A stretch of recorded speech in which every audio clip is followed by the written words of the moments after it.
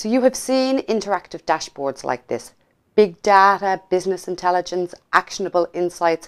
All these words are floating about and you're wondering, how can I use data and insights? What data can I use? What software can I use? How much will it cost me? What skills are required? How can I get started? My name is Paula and this course has been designed for you. Let me debunk a couple of myths. The first myth is high cost of entry. Business intelligence, actionable insights, interactive dashboards, they're within the budget of every company, every business, every brand. You see, in 2015, Microsoft released Power BI to the general public. The desktop version is completely free and there's also a freemium version of Power BI services. The second myth that I'm going to debunk is that a company or a business needs a data scientist to make sense out of the data. A company needs someone that understands the business. So when a trend is spotted, the business expert knows why and knows if corrective action is needed. Power BI offers insights to data by carrying out Microsoft machine learning on your data. Power BI also offers a suite of connectors that comes with pre-built dashboards and all you need to do is connect to your data. Power BI is a self-service system.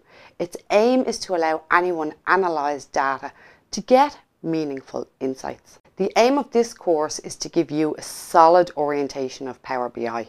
First, you'll learn how to download and install Power BI Desktop. We'll have a look around the user interface and then we'll start to work with some data. Using an example dataset, we will connect to both Excel and CSV files and you'll get an introduction to the query editor as we do some transformations on that data. Then we'll move on to a few calculations and you'll be introduced to the concept of relationships and to the concept of DAX. Finally, in Power BI Desktop, we'll look at the visualization side. After we look at visualizations in Power BI Desktop, we'll move on to Power BI Services.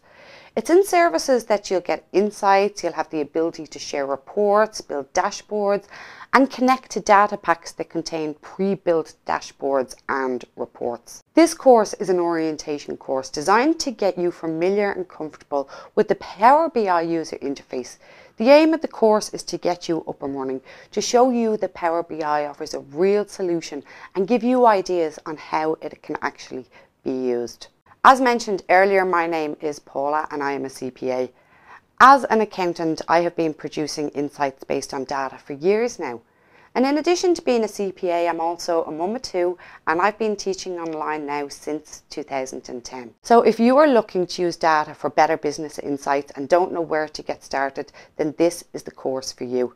If you've been using Excel Power Tools and are considering using Power BI, then this is the course for you. If you're changing jobs and you need to be familiar with Power BI, then this is also for you. This course is designed as an orientation and its aim is for beginners. So why don't you jump in and get started?